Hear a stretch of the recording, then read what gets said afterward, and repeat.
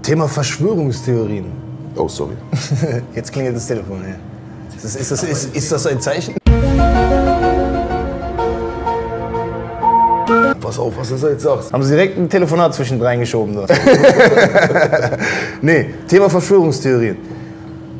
Was ist denn, weil du bist ja bewandelt, was das angeht, ne? Was, was würdest du denn den Menschen da draußen ans Herz legen, mit welchem Thema sie sich vielleicht mal auseinandersetzen sollten? Von diesen ganzen Theorien und Sachen, die es gibt, was wirklich auch was bringt. Weil ich muss ganz ehrlich sagen, dass ich auch ein Typ bin, der sich auch lange Zeit damit beschäftigt hat. Auch durch meinen Bruder, der beschäftigt sich auch viel mit der Thematik. Und gemerkt habe, ich persönlich irgendwann gemerkt habe, wie mich das nicht unbedingt positiv prägt im Alltag, wenn ich mich zu viel damit beschäftige. Hundertprozentig. Es zieht einen runter. Weil du merkst halt, du, okay, ist ein bisschen scheiße alles so, weißt du? Ja. Und dann kommst du selber auch vielleicht nicht mehr aus dem Arsch. So. Ja, man darf sich da nicht reinsteigern, sonst denkst du, die Welt ist am Arsch. Ja. Und das genau das Genau darf ja nicht ist das. passieren. Ja, genau, genau. das darf nämlich niemals passieren. Ja. Du musst checken, wie die Welt ungefähr funktioniert. Ja. Niemand von uns ist annähernd so tief drin, dass er alles durchblicken kann und sagen kann, so läuft's und so läuft's nicht. Ja. Fakt ist aber, so wie es uns erzählt wird, so läuft's nicht. Mhm. Und dann gibt es die größten Spinner, die erzählen eine hanebüchene Story. Dann gibt es aber auch Sachen, da gibt es auch äh, ähm, Menschen und Reporter, die arbeiten mit Fakten. Und die findest du manchmal einfach nicht in den Nachrichten. Das ist einfach so. Und die musst du suchen. Das ist natürlich ein Prozess. Du musst auch selber natürlich ein Analyt äh, sein in der Birne und ähm, bei klarem Verstand sein, um da zu versuchen, einigermaßen sich der Realität, der Wahrheit zu nähern. Du musst nur grundsätzlich verstehen, wie die Welt funktioniert. Und wenn du das verstanden hast, dann musst du die Frage stellen, was kannst du daran ändern willst du was ändern? Aber das sollte die einzige Konsequenz daraus äh, sein, die du ziehst. Ja, lass uns, mal, lass uns mal ein Thema aufgreifen. Irgendwie hast du irgendein Thema, wo du sagst, da können wir mal kurz drüber quatschen und dann würde ich gerne von dir wissen, wie du dann vorgehst, wenn du dich informierst. Sag du ruhig ein Thema. Gibt es irgendwas, womit du dich beschäftigt hast?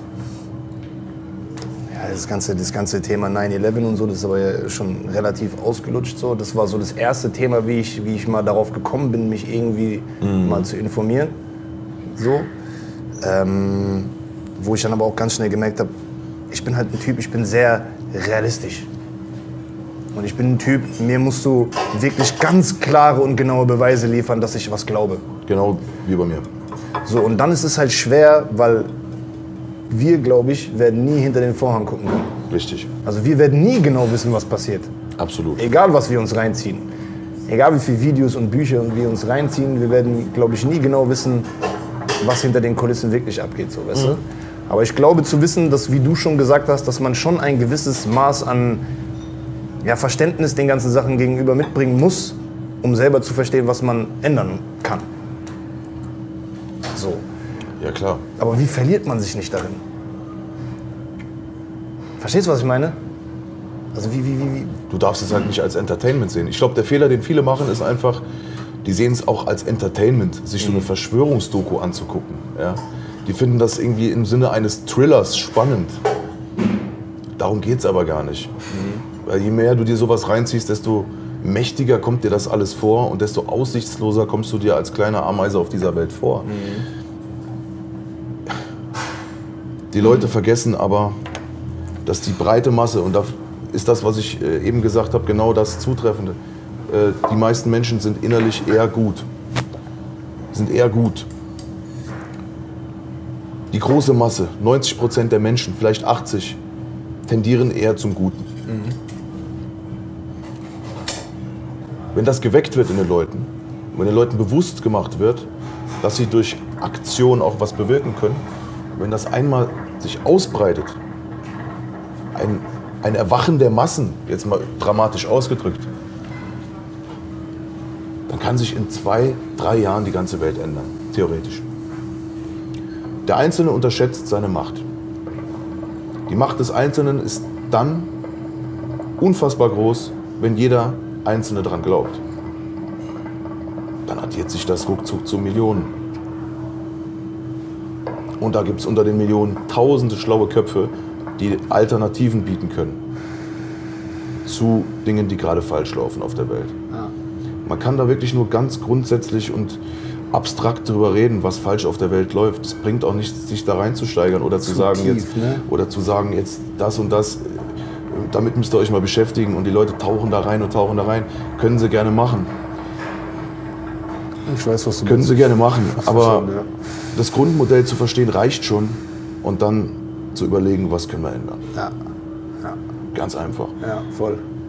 Ja, ich fand's krass, ich habe im Hip-Hop.de Interview gesehen.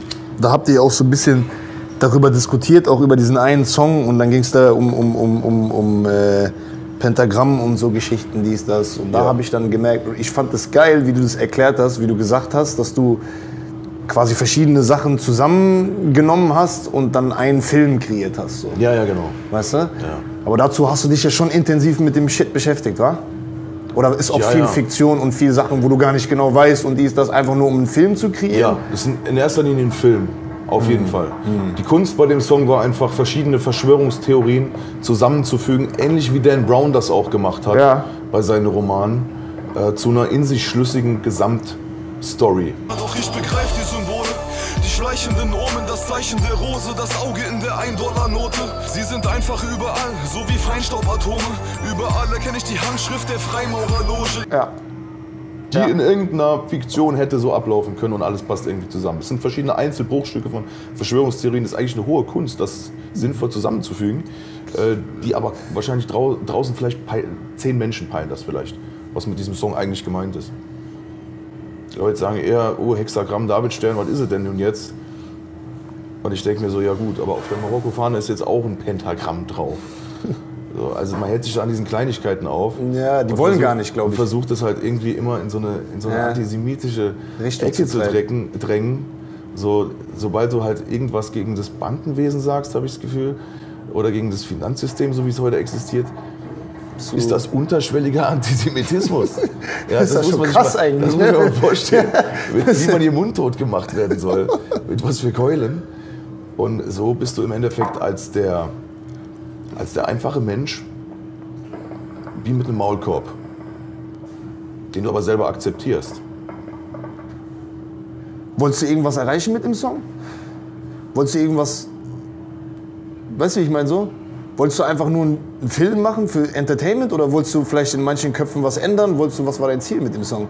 Ja, ja, ich hatte auf jeden Fall ein Ziel mit dem Song. Ja? Aufgegangen? Ja. Zu 90 Prozent. Fehlen vielleicht nur so 10 Prozent. Dann ist es so gelaufen, wie ich mir es erwünscht habe. Aber langfristig noch Fehlt noch mehr. fehlt halt noch was, ja. Krass. Da kann man sich jetzt rein interpretieren, was man möchte. Ja, voll, voll. Aber ist doch schon sehr interessant auf jeden Fall, Digga.